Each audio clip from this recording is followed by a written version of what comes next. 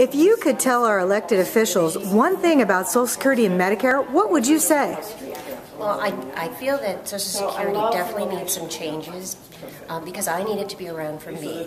Although I have been saving, Social Security is going to be a big part of me living a, a long, fulfilling, healthy life in the future.